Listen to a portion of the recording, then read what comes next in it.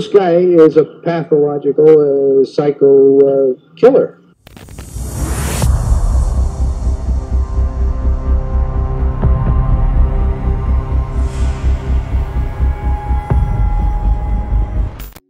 Does it seem to you as if uh, you're pretty much on the verge of finding this man? Well, I wouldn't want to say that. And to be able to reach out and pluck this guy out of the air isn't done. In August of 1969, the Zodiac Killer sent his first ever cipher, known as the 408. It was solved shortly after by Donald and Betty Harden and verified by the FBI. They missed an important detail, though the key. In this video, I'm going to show you the key, which is also the key to the Zodiac Killer's identity. After I solved the 340 cipher, I got curious about the 408 and I wanted to see if they missed anything since I knew then how he was coding in layers. The word key stood out prominently to me, especially when it was next to the word by, which is how I solved the 340 cipher. In the 408 cipher, the word key is hidden several times. When I looked at the deciphered message by the Hardens, I noticed the open triangle was always substituted for the letter I, except on this line where they changed it only once to a W. It made me curious as to why, when at that point I knew the Zodiac Killer's identity from solving his other ciphers. If they left it as it was throughout the rest of the letter, it would have decoded to IDXA, which is the Zodiac Killer's initials. I will not give you my name because you will try to slow down. It should have been S L O I D for down. It's interesting the last line of that cipher was never solved. He hid the word key twice next to the open triangle. He also hid it in the corner up here, but it's not around an open triangle. However, in this area, he was still providing the open triangle as the key.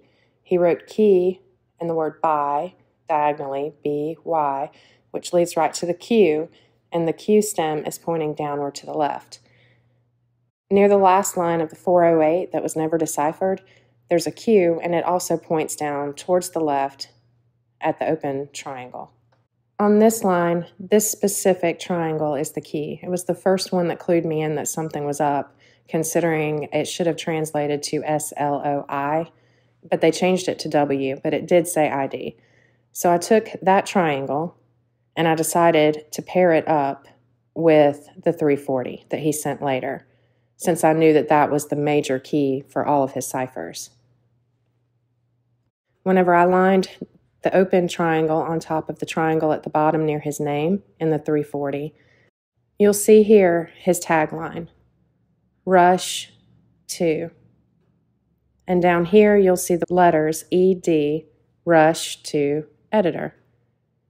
In the zodiac symbol, you'll see his name that is on the last cipher that was never, or the last line that was never deciphered, X, E, and whenever you flip it upside down, it does spell Zen. You'll also see here his first and last initials that are forward and backwards now, the XA, along with his middle initial, which is L. This is by the key and the zodiac killer symbol, I also noticed the word box was very evident, and it was in fact now above two boxes, or pair of dice, as I pointed out in my Z32 solve. Before the word box, it shows FZ, and I realized he was pointing out to go to FZ box. The word go in the 340 cipher says FZ when it is coupled accurately. Go to FC box. It also has a line pointing up to the backwards F and the letter E is right on top of the Morse code symbol for the letter E. I then started looking for the boxes he said to go to that were F and Z. On this line, I discovered the F box, and a few lines up, I discovered the Z box. I knew then that I needed to take the pair of boxes, or pair of dice, and couple them in their correct place. I started with the F box and slid it into place. You can see the squares are the same size. Now it wasn't just showing his initials, but yet his first name again X E N. If that isn't enough proof, he also says me, X E N, in the upper left. And down on the bottom line, that was never deciphered, you will see his name X E N forward and backward. I went to the Z box and can see he was showing his name again me, Zen. To the right, you'll notice the FK. He stated in a later letter, FK, I'm crack proof. And here beside the FK is the open triangle. Let's go back to where he hid Rush 2. I noticed it had the solid circle beside 2. Above it on the 340 was a solid circle. I followed the same steps and coupled the circles. I saw it said not it, even though in the upper left it reads ID Zen. Since he said not it, I looked further up the 340 code and I saw another circle. Imagine my surprise when I saw finally there was a scratched out K with a backwards one above it. He shows us clearly in his words that it was a fuck up.